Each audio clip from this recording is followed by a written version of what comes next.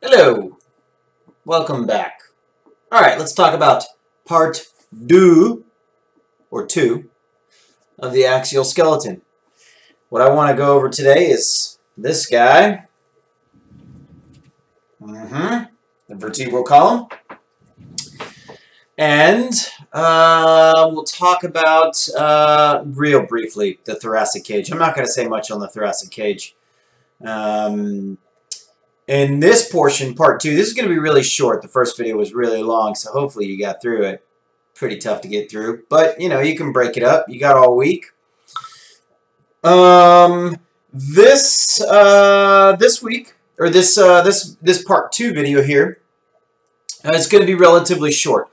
I'm going to go very brief through uh, the anatomy of the vertebral column.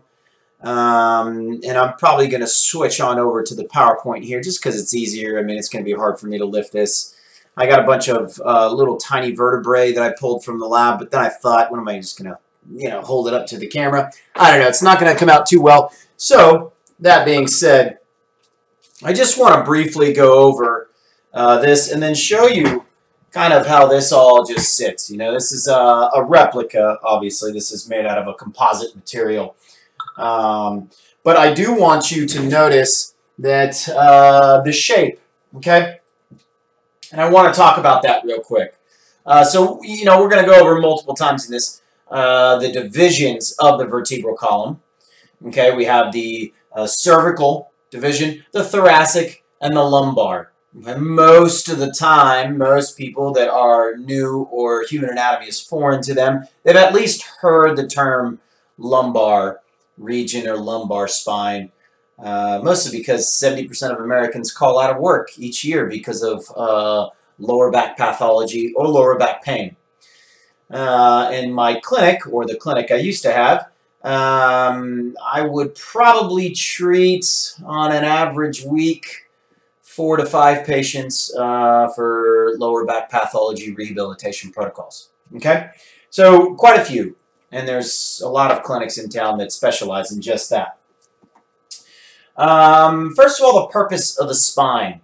Okay, one of the main purpose is uh, for us to be able to uh, provide sensory and motor information all the way uh, down and throughout our body. Okay, it houses our spinal cord, and our spinal cord kind of just runs in the middle along the spine behind the vertebral bodies. That's what these bigger parts are called. We'll go into the uh, exact anatomy with a picture here in a minute. Um, but behind these vertebral body, bodies, so just posterior, this is the anterior surface. So everything right here is kind of our stomach area, um, our abdomen, you can see on this guy here. Okay, so all of this on the anterior aspect here, um, this is going to be our visceral cavity uh, or our, our abdominal cavity. Uh, so like I said, posterior to the vertebral bodies, we have the, the spinal cord that runs through here. That's a large bundle of nervous tissue.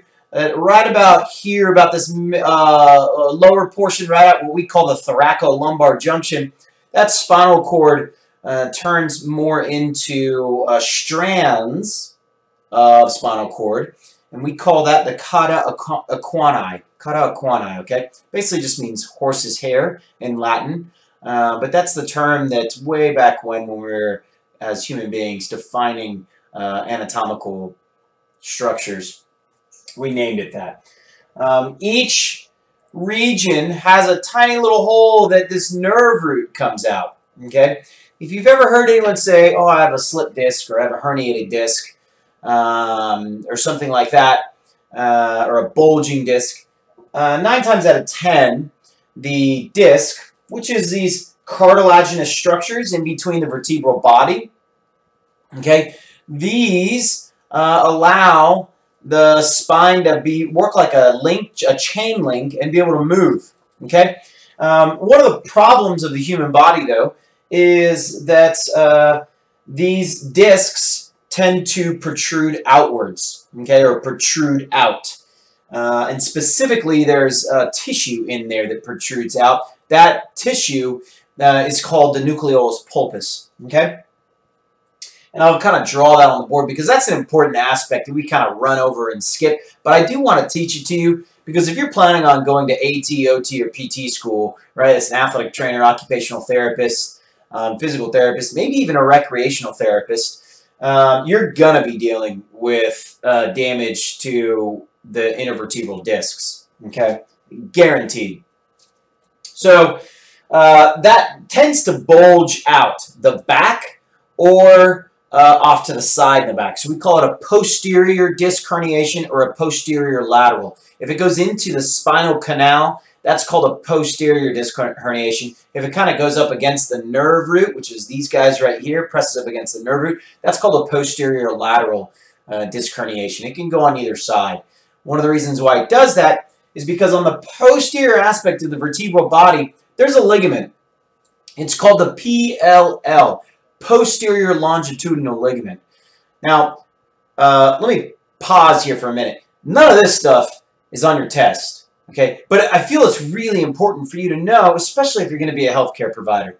So if you don't want to hear this, you can kind of just skip ahead and get to the important stuff that's going to be on your test. But if you want to learn a little bit and some cool stuff, why lower back pain uh, is felt among 70% of Americans, this is why, okay, or one of the reasons why.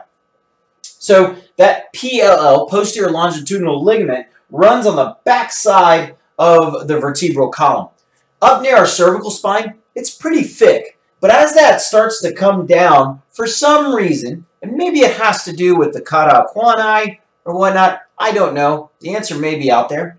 But for some reason, this PLL, posterior longitudinal ligament, becomes real thin back here, okay, especially in the lumbar spine. And as that becomes thin, thin, it doesn't protect the discs as much. And what do we do? Well, we constantly pick stuff up. And how do we pick stuff up? Well, we bend over and pick it up. And we bend over and pick it up. And we bend over and pick it up. And then maybe we go weightlifting and we bend over and we pick it up. And we don't have good form when we're doing deadlifts, okay? If you ever watch those gym fail videos and you watch those individuals doing deadlifts and they're just bending their back really bad, well, that's bad news bears. They're going to give themselves a disc herniation eventually, and they're basically just pushing their disc posterior. So what does that look like? Well, let's draw an intervertebral disc, okay? So first, let's do a vertebral body. Then we have the back part of our vertebral body, okay, like so.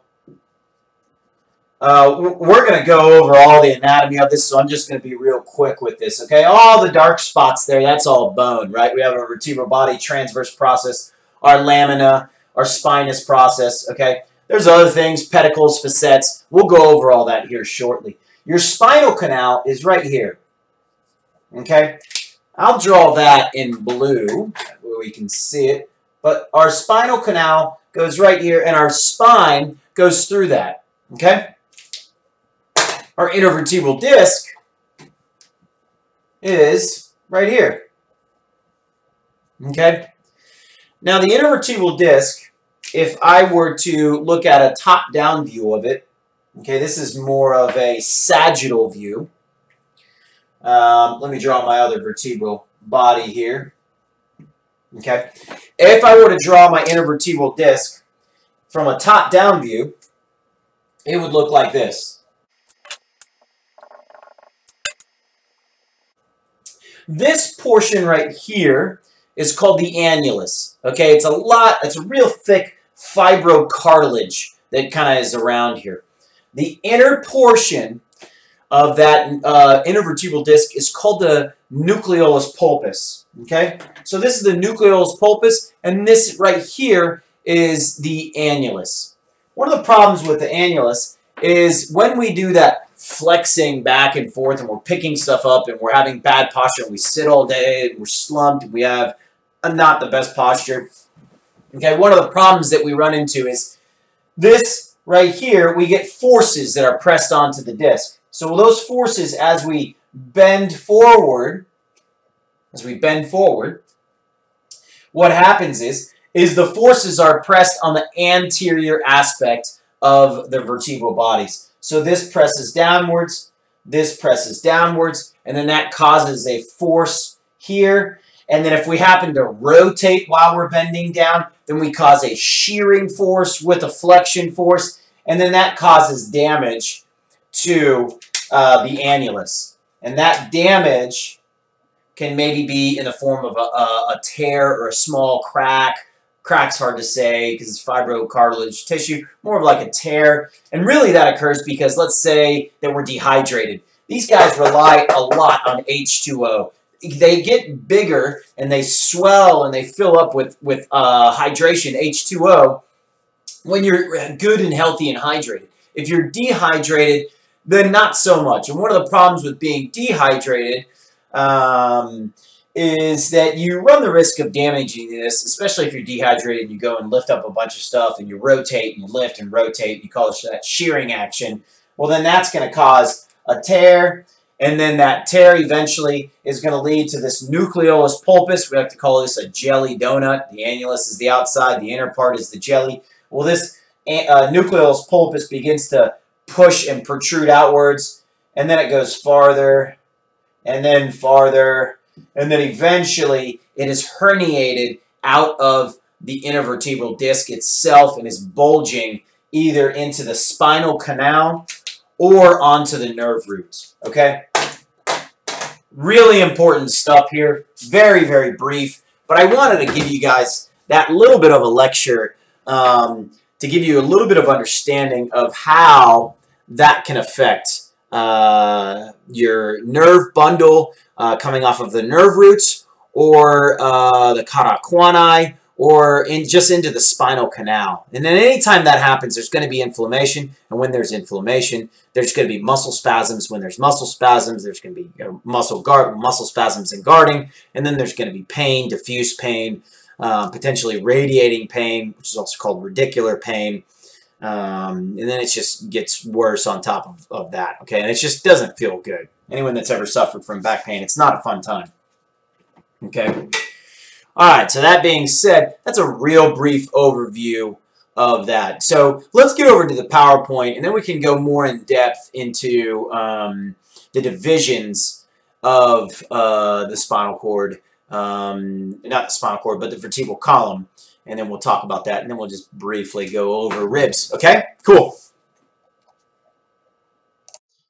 Okay, let's start with this. This is from your uh, PowerPoint. Um, I like this image right here just to kind of start off with because it really does a good job of, of delineating out the two uh, subsections of the skeletal uh, system, the axial skeleton and the appendicular skeleton. So you can see that the axial skeleton is everything in that kind of a hazy blue, and then um, the appendicular skeleton or our appendages, and everything from the scapula and clavicle, the shoulder complex there, and out towards our digits or fingers and then everything from our um, pelvis region and some of the bones of our pelvic girdle, uh, not the sacrum though, is uh, included in our uh, appendicular skeleton. The sacrum is the most posterior aspect of the vertebral column. I forgot to mention that when I lifted the, the model up itself, but we'll go over that here in just a second.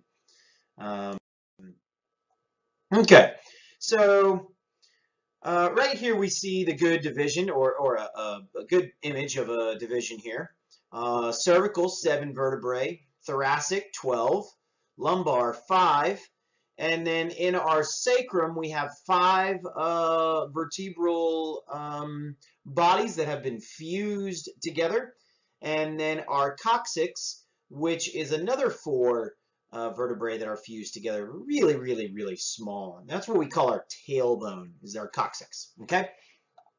And you can see um, the intervertebral discs here and uh, how that all looks uh, as far. But you need to know 7, 12, 5. That absolutely you need to know, uh, and that's pretty important, okay? The In the cervical vertebrae, the top two, which we'll go over here in just a minute a little bit more, but the top two are called C1 is the atlas and C2 is the axis. Okay, the atlas, think of that Greek god that's holding up the earth. Okay, the atlas is what articulates, remember articulation is a joint, is what articulates with the occipital condyles of the base of the skull. if you remember the foramen magnum where our brain stem comes out of, well, C1 has um, uh, basically these uh, large uh, fossas um, that uh, accept the occipital condyles and uh, the occipital condyles rest on top of the atlas there. Okay, uh, this is a relatively good, um, a relatively good uh, ver vertebrae to talk about. Okay, this is one of our thoracic vertebrae, and you could tell it's the thoracic vertebrae because of the transverse processes. They have uh, little tiny facets on the end of them. Those are those divots. The pearly white little substance there is the hyaline cartilage or articular cartilage. Um, those divots are the facets where the ribs uh, articulate. So our ribs wrap around and join in. If we go back real quick, um, or if you go back real quick, uh, remember that the thoracic uh, vertebral column is uh, as such that the ribs attach on to the vertebrae. And so where they attach is right here on the transverse process on these facets. Uh, a facet is basically just another name for a fossa or a divot um, that is where another bony uh, protrusion or another bone articulates with um, to create a joint. Uh, so you notice that uh, our main vertebral body is that large portion right there. It's made of spongy bone. And that kind of uh, moves and fuses backwards and kind of forms this circular pattern, this giant foramen, our spinal canal or vertebral foramen. Um, that's where our spinal cord goes through. And then uh, the region right before uh, those other pearly white little fossas or facets, those are the uh, facets that join each vertebrae up and down together. Um, but right before there, that area is called the pedicle. Okay, rare to see a fracture in the pedicle. However, it is possible. Um, sometimes we see fractures in that pedicle that cause uh, a lot of pain. Uh, some soccer players, gymnasts, and football players, especially linemen, uh, sometimes can see that. Usually we see fractures in an area of uh, the vertebral column uh, or the vertebral bone itself, just one vertebrae, in an area called the pars. And you can't see the pars here. You have to hold uh, the vertebrae in what's called an oblique view, uh, a sagittal oblique view, so that you can really identify the pars and look at the pars. But, um, you know, that's not as important uh, for this moment here. Uh, the posterior aspect, most posterior, is the trans, or, or excuse me, the spinous process and then that kind of comes forward and the and the portion of that where it joins together in that sort of little Y junction where it creates the posterior aspect of the spinal canal uh, is called the lamina. Back in the day when we would do fusions, some doctors still do it, uh, we do a procedure called a laminectomy where they go ahead and cut off that portion right there and put a plate and, and join uh, multiple vertebrae together uh, when we do a fusion. Okay, um, so we're looking at uh, the atlas and the axis. So you can see the atlas and the axis together. The atlas is the first vertebrae. That's where uh, the condyles sit on top of. And then the axis is the second vertebrae. And the atlas actually spins around, allowing us to say no, right? Spins around the axis. Uh, being able to say yes, up and down, head moving up and down, that occurs at the atlas and also the subsequent vertebrae down below C3, C4, C5. That causes that um, or helps to assist in flexion and extension of the cervical spine. Okay, uh, all the way to the uh, left side of the screen is a typical cervical ver vertebrae. Okay, one thing that is really uh, important about cervical vertebrae is number one, their vertebral bodies are a lot smaller. The intervertebral discs are a lot smaller. A lot less disc herniations occur in this region, although it still happens. It's the second most out of uh, the three major regions of the spine. Um, lumbar being first, cervical being next, thoracic hardly rarely see uh, disc pathology in thoracic, although it can happen, but it's very rare, mostly because of the amount of support and structure and stability that is seen at uh, the thoracic vertebrae, and that's because of the ribs, okay? Another thing that's really important to denote with cervical vertebrae is the two tiny holes next to the main vertebral body. Okay, so you see the vertebral body and then the two tiny holes. These two tiny holes are so that our um, cervical arteries can go through. And this goes up, and this is only our cervical vertebrae has this. And this goes up and supplies blood to the brain and enters into an area of uh, the blood supply of the brain or a uh, complex of arteries in the, in the brain uh, called the circle of Willis. Okay.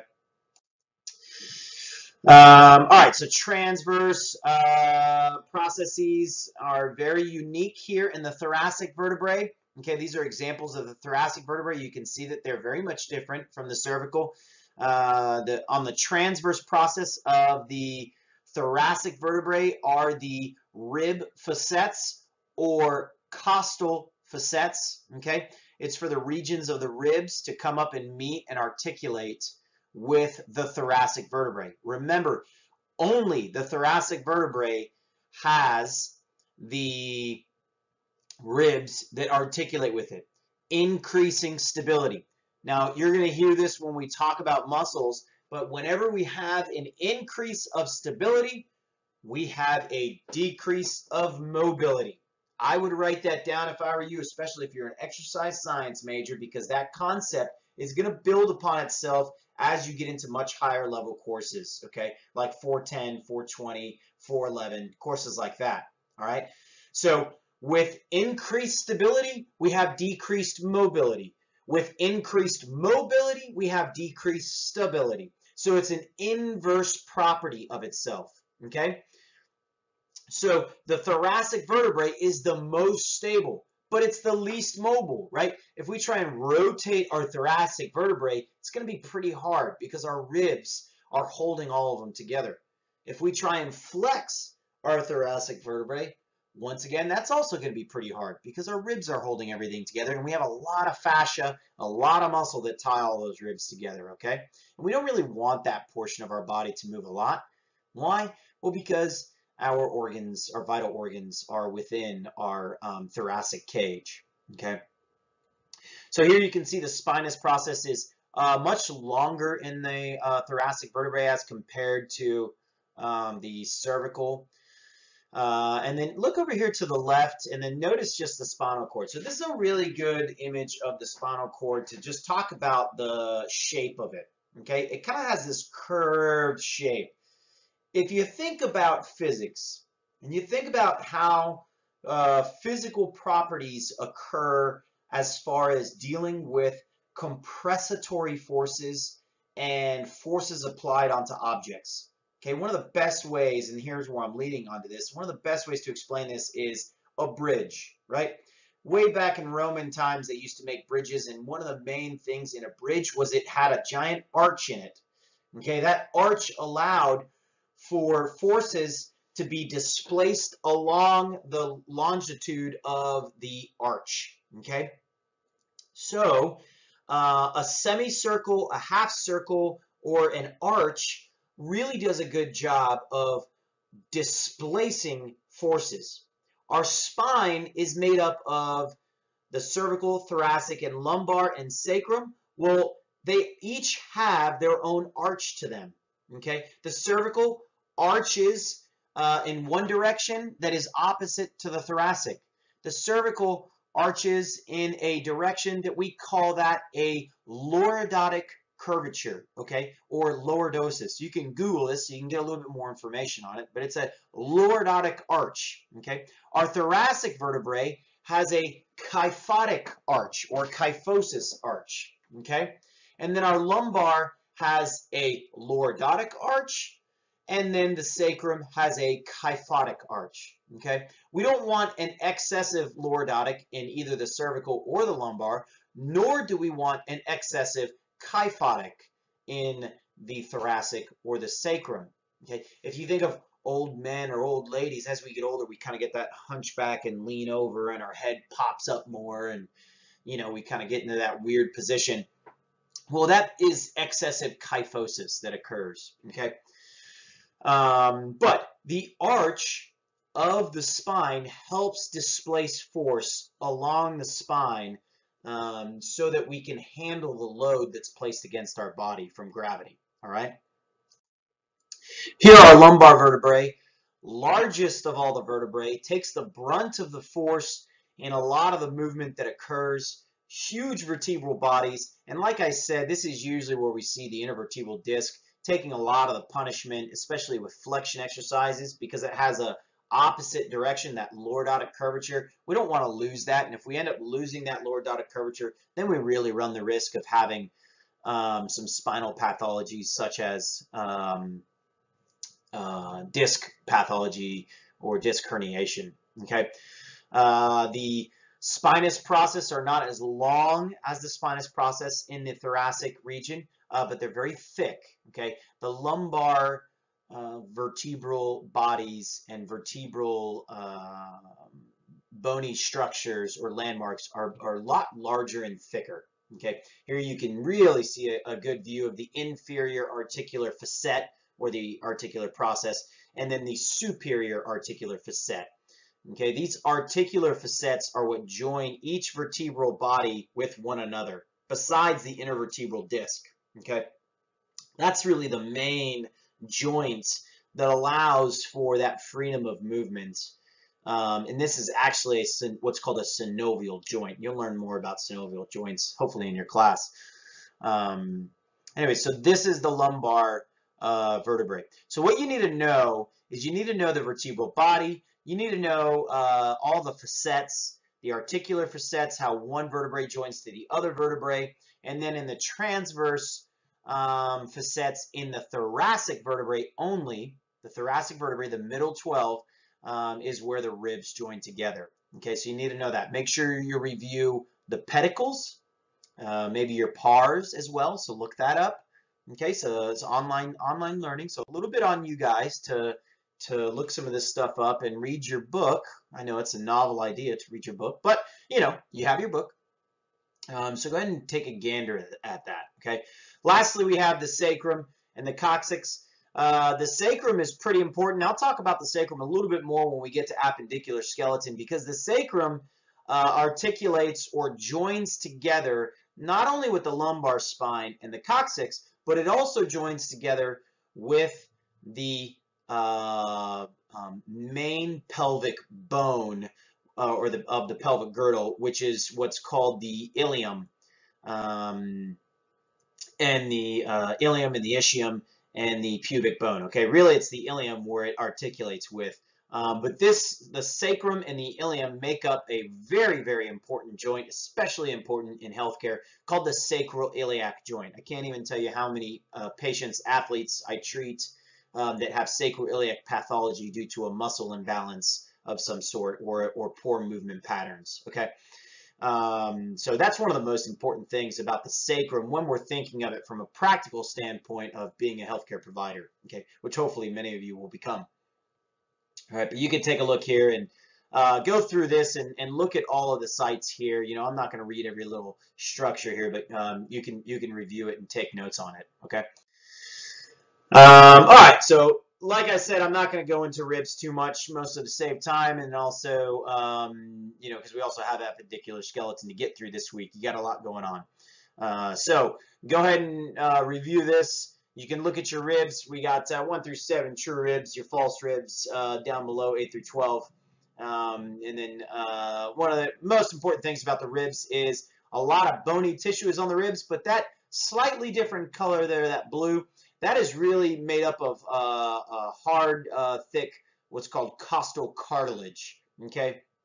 And this helps our ribs be able to move. We want our ribs to move, right? Breathing needs to occur, so our ribs expand outwards, allowing for decreased pressure in our lungs, okay? So then that pressure gradient allows for breathing to occur. Air rushes in as compared to atmospheric pressure. We'll go into that in the last lab. Um, but we need our ribs to move uh, so that we can breathe. Okay, we have to be able to breathe. In order to breathe, our ribs have to move. So that's one of the main reasons why we have that cartilage. Okay. Um, I'll let you go through this and you can see it. We have our sternum, the manubrium, really important top part of the uh, sternum. Uh, and then we have our sternal body, and then all of that kind of connects with our uh, costals or our, our cartilage of the ribs.